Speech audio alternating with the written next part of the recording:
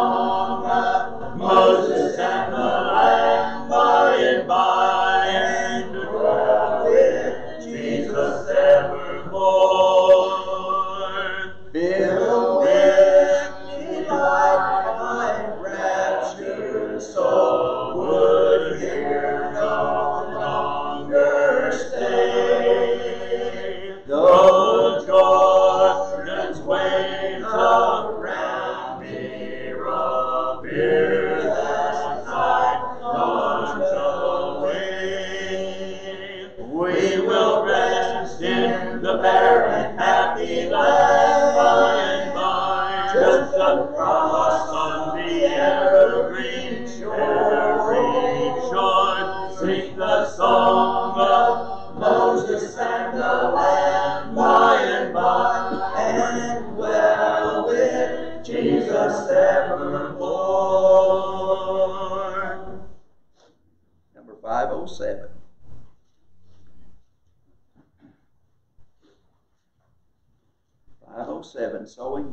the kingdom.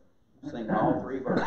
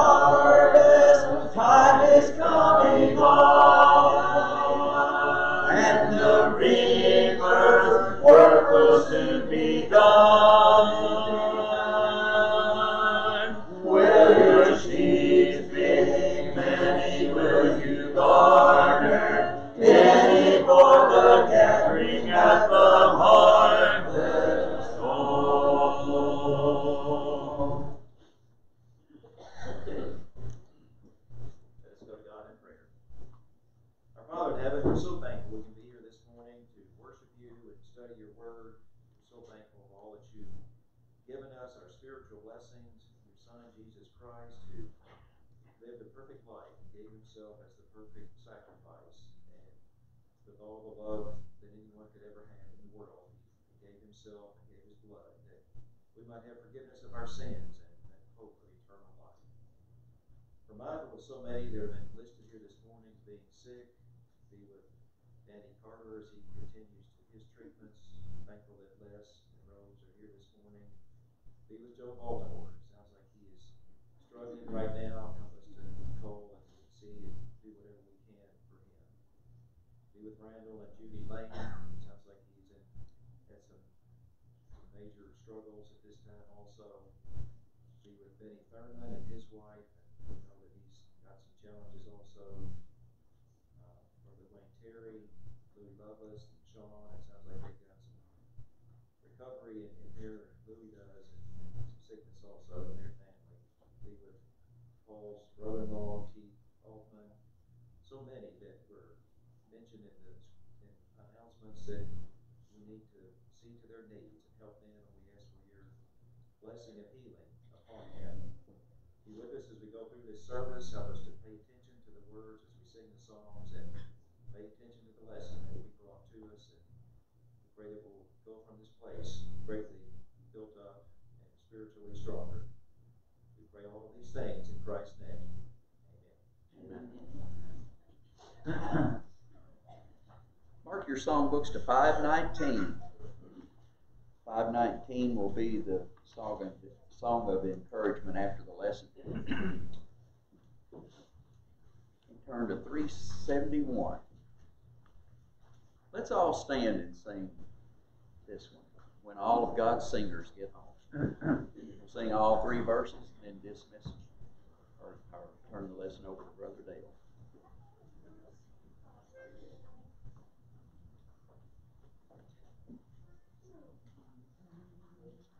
What a song of delight in the city so bright will be wafted neath heaven's fair door. Oh, how the ransom will raise happy songs in His praise when all God's singers get home. When all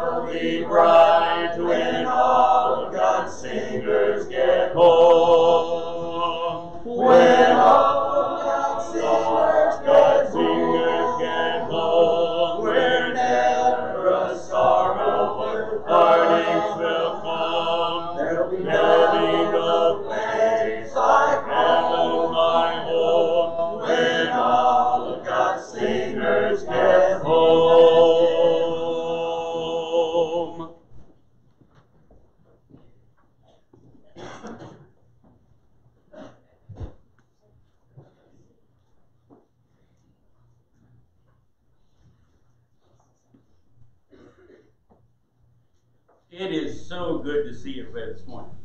For those that are visiting with us, we are very, very thankful that you've chosen to come, that we might be able to spend this time together and study the Word of God, and to be able to be benefited by the time that we get to spend together today thinking about spiritual things and worshiping in spirit and in truth.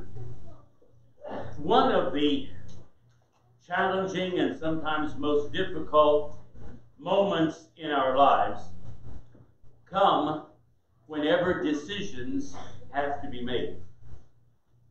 There are many times that we're faced with very complicated and difficult decisions. And the tendency is one to just kind of stick our head in the sand and hope it blows over. We don't want to be in a decision making capacity. We don't want the responsibility for having decided that this is the way a certain thing is going to go. And so often we struggle with those moments of indecision and we just kind of don't know what to do, what's going to happen. We kind of just become victimized then by whatever is the outpouring of things. And for us to be able to truly become decision makers can become a series of call monumental moments. Whenever we are finally willing to say, okay, here's the facts. This is the way that I see things, and this is the way that I need to go. Even early on in life, we begin to be faced with some major decision making. Let's say that you're finishing up high school and you're trying to make some commitments as to what's going to be maybe the, the best college for your future education. What team do you want to play for, maybe at a, at a college level? What's going to be the best setting and situation for me? Oftentimes, there's a lot of publicity given to star athletes and the way in which they go and visit various schools. But eventually, there comes a moment of decision. There comes that moment when I've got to sign my name on the line, so to speak, and say, This is the choice I've made. This is the commitment that I am going to make. And I'm going to press forward with the success of that choice. It may work for us as well as with a career choice. Where are we going to work? What kind of job do we want to have? Often trying to encourage young people to think about a career, to plan toward that, and then to one day realize that career opportunity is a major challenge. Because, well, I like this, and I like this, and maybe that'd be okay, or maybe I'll do some of this. And I just start dabbling in a lot of little things and sometimes wind up sort of spinning their wheels for a lengthy period of time, never finding something that fully can support them, provide for them, provide for their families, to be the things that could help them have a successful future. It may be as well, though in human relationships, two people meet each other and they have a, an attraction for each other. They enjoy good times with each other. But then there's that decision of popping the questions, as we used to say. You know, and are we going to make a commitment here, a lifelong commitment to a relationship that will be in place until we die? And there are many individuals who shy away from the commitment part of that. Yeah, they enjoy having good times with other people. But whenever it comes to the point of saying, Will you marry me and will we be together all through the years? I'm not so sure about that. And so individuals oftentimes torpedo their own happiness because they can't make a decision and they can't commit to that decision and see it through to success. Well, the Bible gives us a lot of examples of individuals who faced a very important crossroads in life. And as a result of the moment and where they found themselves, it became a very major issue for them in trying to determine what they are going to do with their lives and how am I going to react in the next little bit. One example of that comes to us from Esther chapter 4. And here we can talk about a Mordecai moment for just a minute. Mordecai was an uncle to Esther, and Esther had become the queen. She was in a position of some degree of influence and power. But because of Haman's anger and hatred toward Mordecai, he had decided that he wanted to sort of go secretively and get the king's permission to have this nation of people extinguished that were offensive to him, and he made up other charges to go with that, and succeeded in getting the king to sign a decree that would have allowed the Jews to be exterminated throughout the kingdom. Now, what are you going to do with that? Are we just going to wring our hands and be the victims and just hope that maybe we can hide or somehow evade that eventual moment? Some would. But Mordecai realized that Esther was influential. And this was a time for bravery and courage. This was not a time to be timid. It was not a time to hide. So Mordecai could have just passed over this and said, well, we'll wait and see what happens. No, he became much more proactive than that. And he gets in touch with Esther.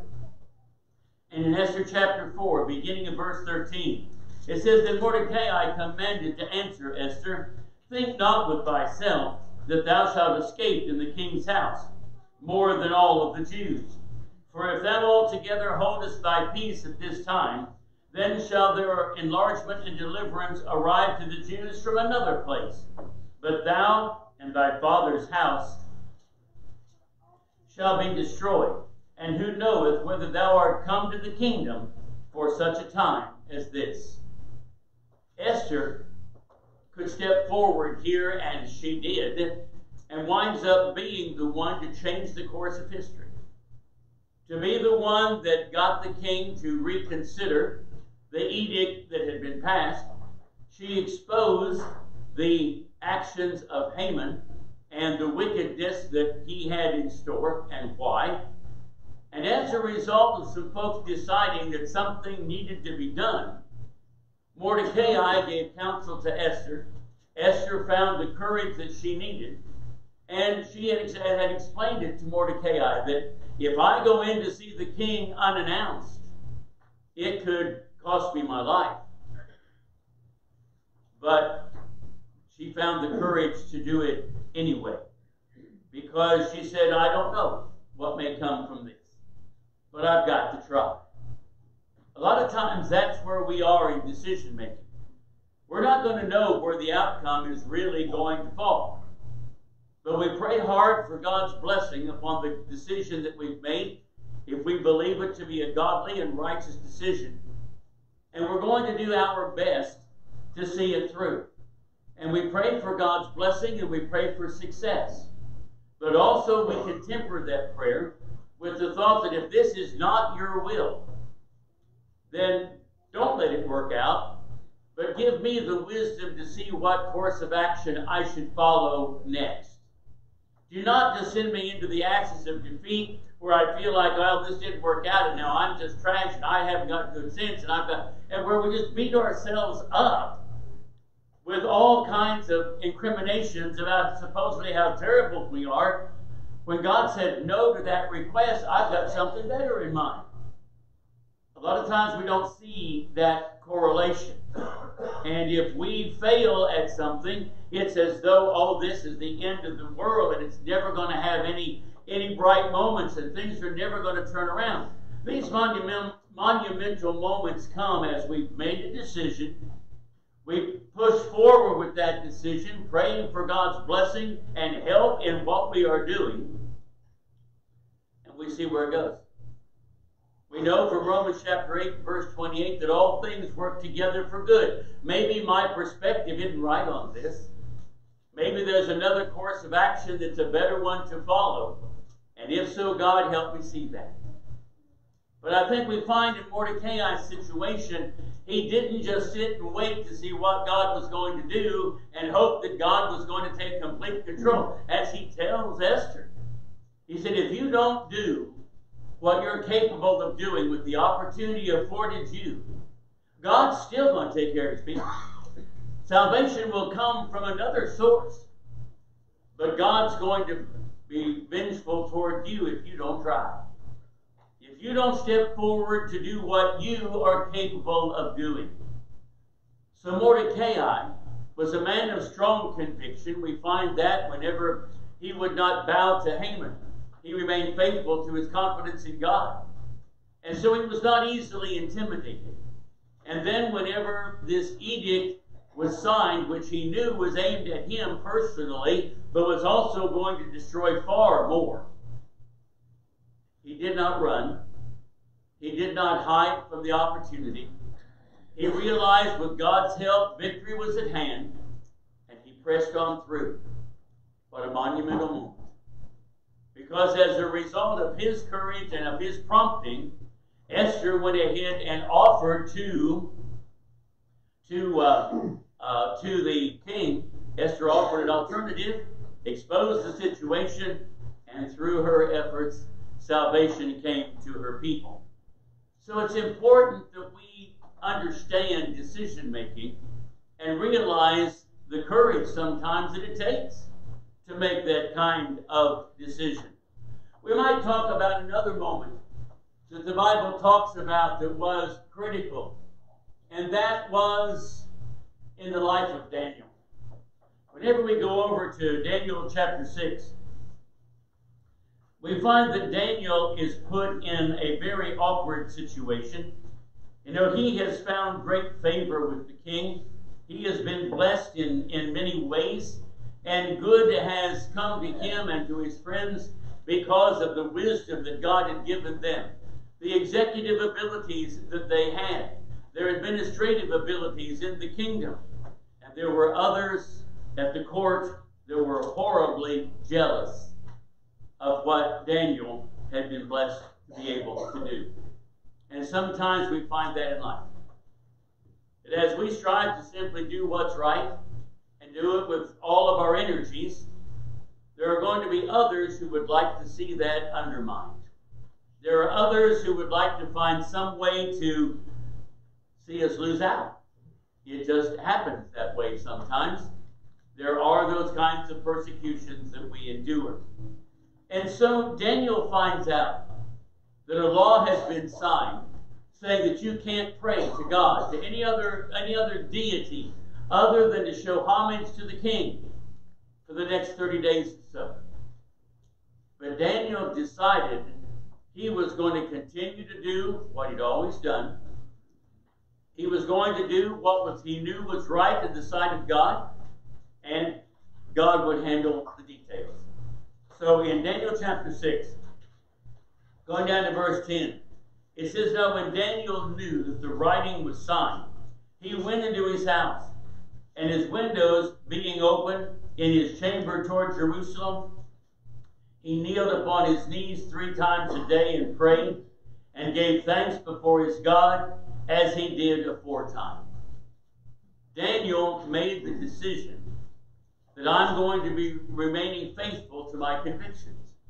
I'm going to keep on doing what I've been doing in serving God. Others may not like it. Others may afflict me because of it. But Daniel made the decision to do what was right, regardless of what consequences may follow. And so then these men assembled and found Daniel praying and making supplication before his God. Aha! We've got him. And so, of course, we know more of the rest of the story how they took the story to the king, that these men had made it a formalized signing of a law so it could not be repealed. And so Daniel wound up with the trip to the lion's den. But as we look to what happens here, God spared him. And he was victorious even in doing what was right. And so the king spends a fretful, sleepless night worrying about Daniel and worrying about his welfare. He didn't want to see this kind of thing happen to such a good man, but he'd been kind of entrapped in this situation, and the piece of law that he'd signed had an edge to it that he was not aware of. Well, then we find in verse 23, whenever he goes the next morning to check on Daniel, how happy he is to find out that God had seen to it that Daniel was spared. It says, and then in verse 23, when the king was exceeding, exceeding glad for him, and commanded that they should take Daniel up out of the den.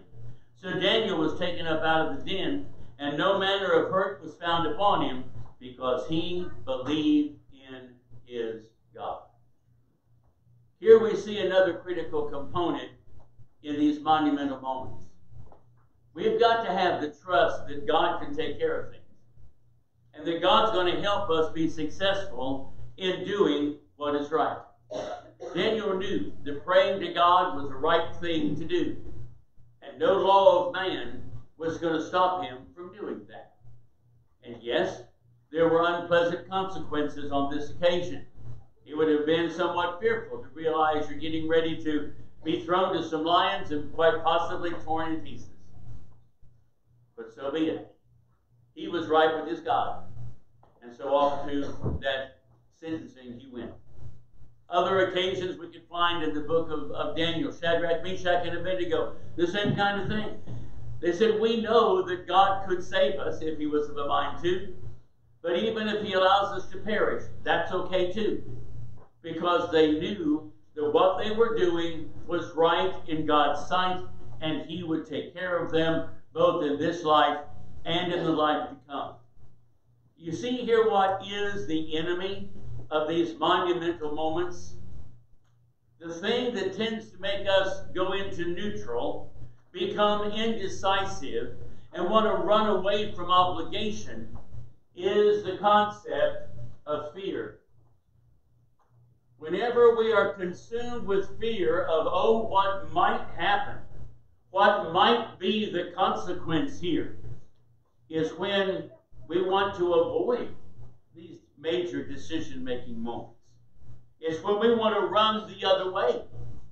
And so, what we've got to tighten up on is our trust in God. That with Him, things will work out in a manner well pleasing unto Him. And we're going to have to trust that we're going to be taken care of, both in this life and in the life to come. The issue gets down to our lack of faith sometimes. The idea that somehow God's going to dangle us out here on the end and He's going to drop us. And calamity is going to fall and God's not going to care. Satan wants to implant as many of those seeds of doubt and fear as he possibly can. Because seeing committed people persistently doing what's right even in light of threat and possibly bad circumstances, is something that, that Satan can't handle. James tells us if we resist the devil, he's the one that's going to flee. But we've got to have the courage to be able to make the decisions and stand fast upon God's word. In Second Chronicles chapter 20, we find another monumental moment.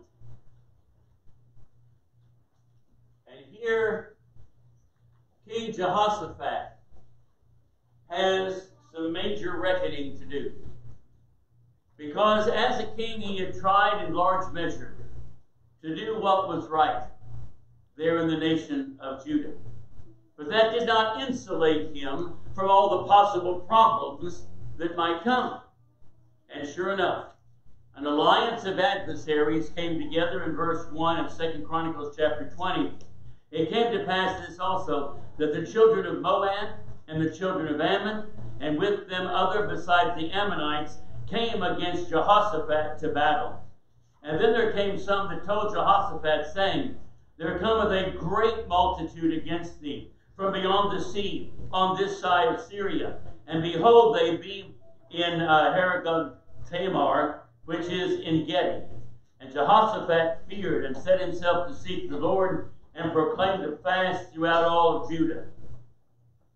This was a massive army, a major collection of adversaries.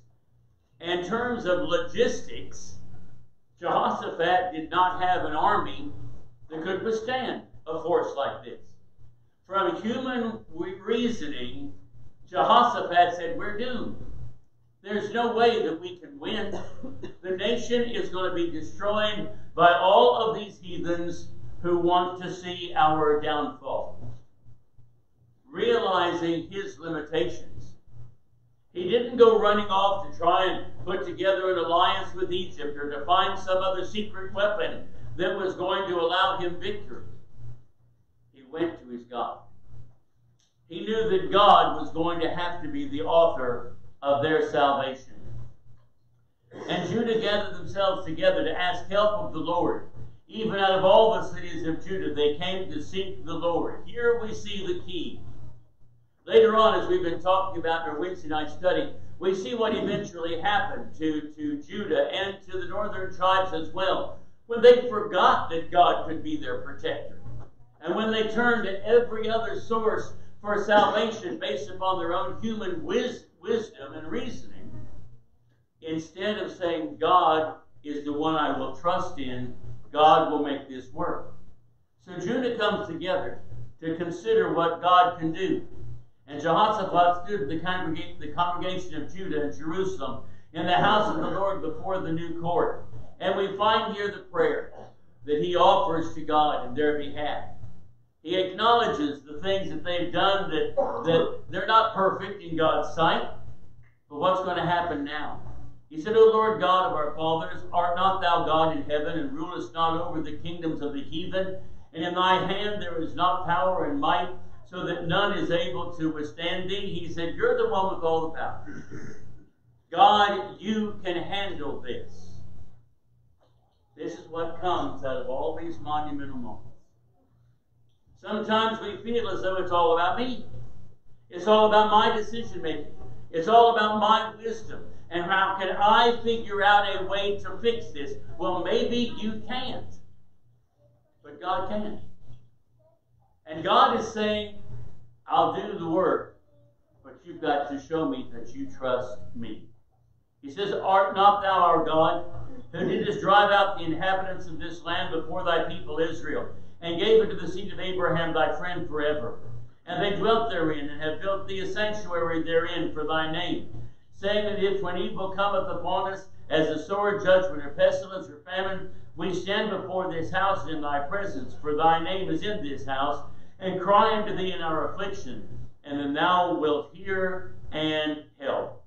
And now behold, the children of Ammon and Moab, and Mount Seir, whom thou wouldest not let Israel invade, when they came out of the land of Egypt. But they turned from them and destroyed them not. Behold, I say, how they shall, how they reward us to come to cast us out of thy possession, which thou hast given us to inherit.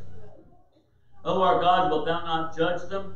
For we have no might against this great company that cometh against us, neither know we what to do, but our eyes are upon thee And all Judah stood before the Lord with their little ones, their wives, and their children. Lord, I haven't got an answer on this. I, I don't know what to do. But I trust that you do. It's in your hands. Whenever we start dealing with these decision making moments, that's also a very wise decision. When we have opportunity, we need to be able to exercise those opportunities. There carries with it a sense of responsibility to do what we can in service unto God. But sometimes the problem may be more complicated than what our little minds can sort out. And Lord, I'm doing my best. But I don't know what to do. And Lord, it's up to you. And as we continue looking at the story, God did fix things. We find that he allowed these nations to turn on each other as before the battle was ever fought. And whenever they went out to meet them, Jehoshaphat didn't send an army out there leading with swords and spears. The lead guard of his army was a chorus of singers that went out singing praise unto God. And we find that whenever they came forward to see what happened in verse 22, and when they began to sing and to praise the Lord, to, to praise, the Lord set ambushments against the children of Ammon, Moab, and Mount Seir, which were come against Judah, and they were smitten. For the children of Ammon and Moab stood up against the inhabitants of Mount Seir, utterly to slay and to destroy them. And when they had made an end to the inhabitants of Seir, everyone helped to destroy one another. And when Judah came forward, the watchtower in the wilderness, they looked into the multitude, and behold, they were dead bodies, fallen to the earth, and none escaped. And when Jehoshaphat and his people came to take away the spoil of them, they found among them in abundance both riches with the dead bodies and precious jewels, which they stripped off for themselves more than they could carry away. And they were three days in gathering of the spoil. It was so much. And then the next day, there was praise and rejoicing to God for the deliverance that he had provided. Look at this. Here he had no idea what to do. But he said, Lord, our eyes are on you. And God came through. We're going to be faced with all kinds of circumstances that we've got to analyze. And we may have some things that we can effectively do. Sometimes we may feel like we're in over our heads and we don't know what to do. But God is always going to be there for us to trust. He's the one that can come up with the solution. And instead of us being overcome with fear, trying to dodge responsibility, trying to avoid decision making, let's just see what God can do. All too often, we far shortchange God as to what He has the power and the willingness to do. And the question is for us our own lives what's your monumental moment? I'm sure all of us are facing some major decisions. What's the course? What do I need to do? It may be that we look at many of the cases we've talked about that are dealing with health issues. What's the best treatment option? We find the information that's available and we make a decision as to what we can do. Maybe it's a commitment of some sort. Going to sign that contract? Are we going to take that job? Are we going to go to that school? Are we going to get married? Are we going to do whatever? We reach that point of decision making. But looking at the uncertain times that are ahead, we may be faced with all kinds of decision making like we've never faced before. But in that decision making process, our trust has got to remain in the Lord. That we're going to do what's right, whatever the challenge may be. We're going to pray as we ought. We're going to have the courage to do as we should. We'll sing praises to our God and trust Him that things are going to work out right. But how about maybe the most important one of all? For many of us, even here this. How about that monumental moment when you decide it's time to give your life to Jesus? It's time to obey the gospel of Christ. It's time to not linger in indecision, not allow negative thoughts and experiences to so color our thinking that we keep stomping through life doing things our way, knowing full well come the day of judgment we'll be condemned because of the refusal to decide to obey Him. You know, King David went through a whole lot as he dealt with fleeing from King Saul, all of the efforts that were put forth to unseat him whenever he took over as king.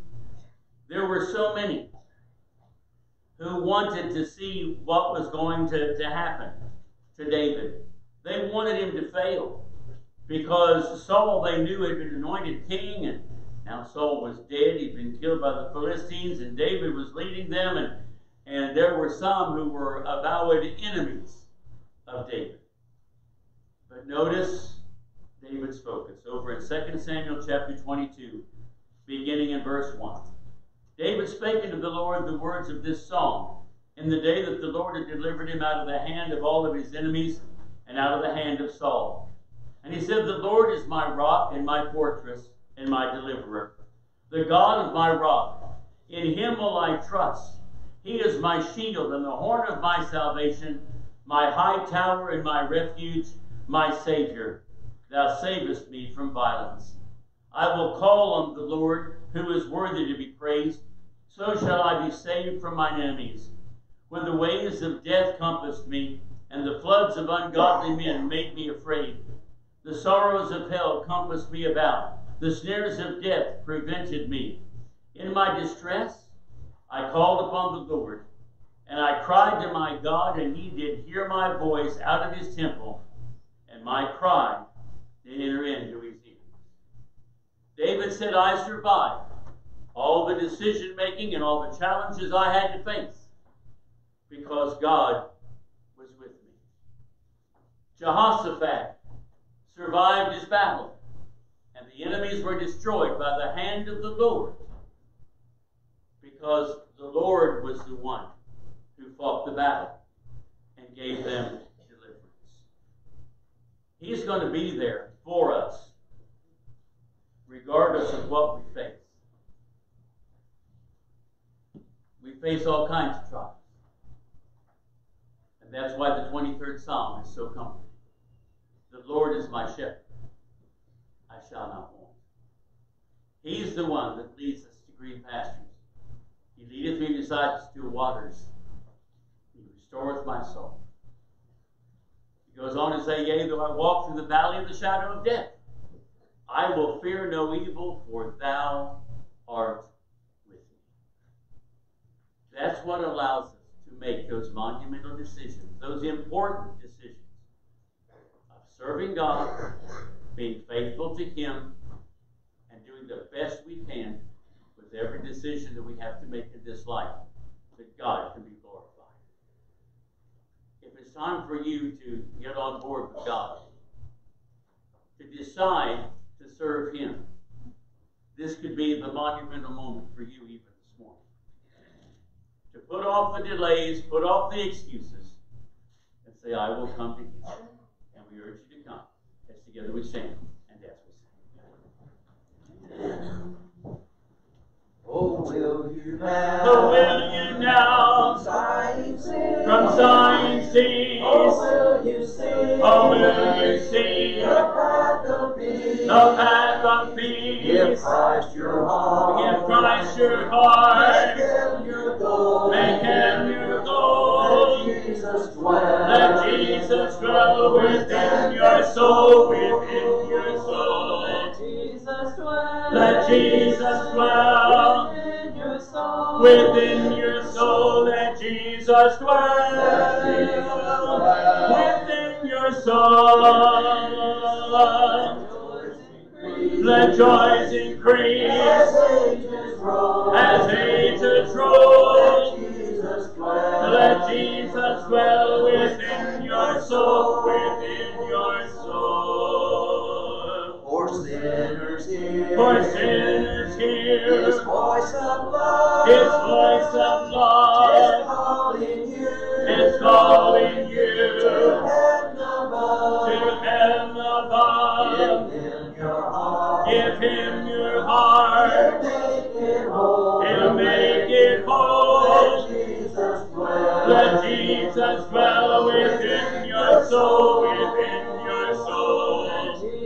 Dwell. Let Jesus dwell within your soul. within your soul. Let Jesus dwell Let Jesus dwell within your soul. Within your soul.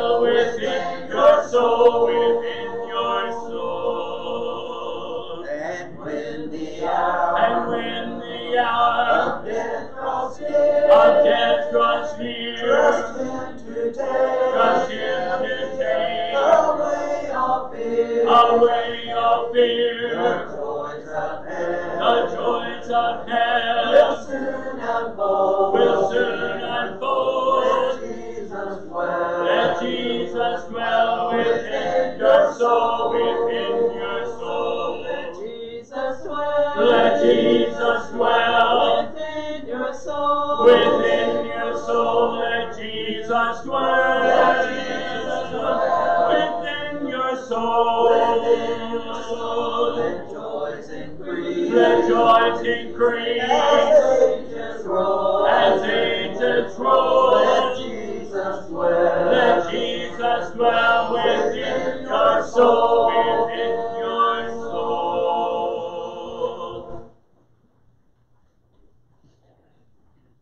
In order to prepare our minds for the taking of the Lord's Supper, let's open our psalm books to number nine. We'll sing all three verses, one, two, and three of true worship, then we'll sing the chorus.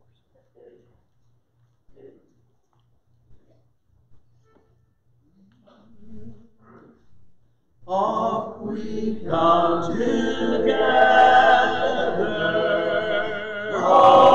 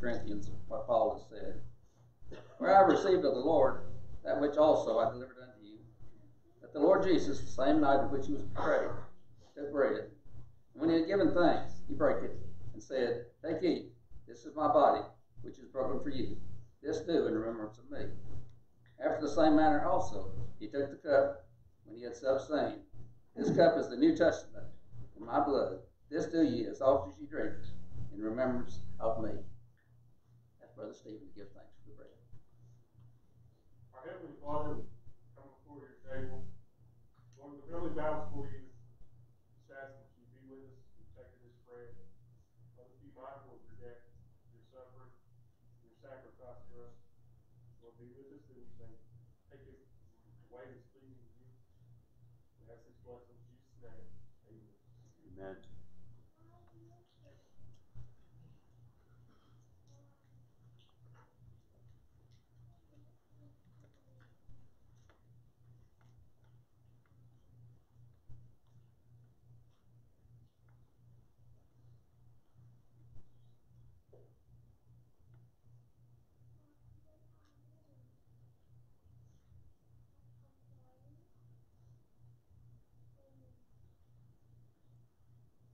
ask Brother Jason to give thanks for the food today. Heavenly Father, like manner, we ask for your blessing upon the fruit of the vine, send Christ shed blood on that cross. Heavenly Father, we command you, bless, take this opportunity to remember our Savior's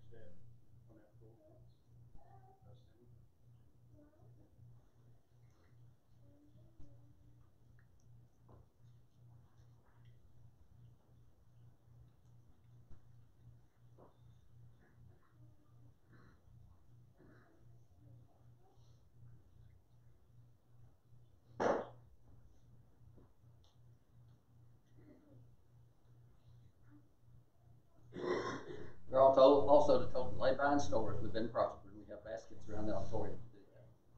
I want to thank everyone for being here this morning. We want to pray for those that are sick and not able to be with us, those on our sick list. Remember, to keep them in our. Anything else that needs to be announced? Anything at this time? Not after song, let's, uh, Brother David, this message.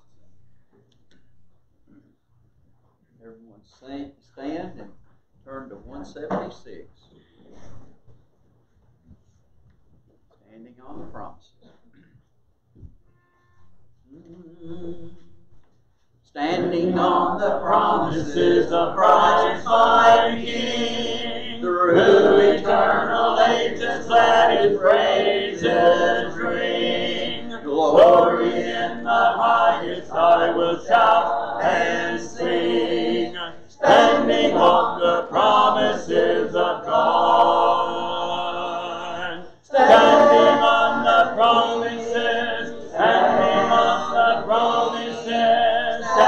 On the promises of God, my Savior. Standing on the promises. Standing on the promises.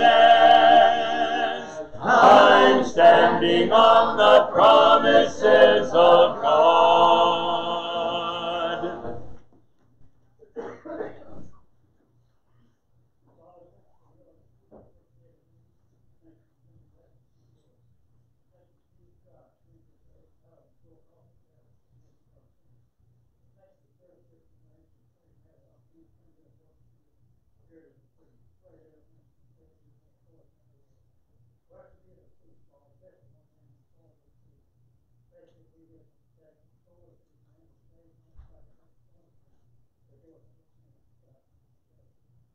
Amen.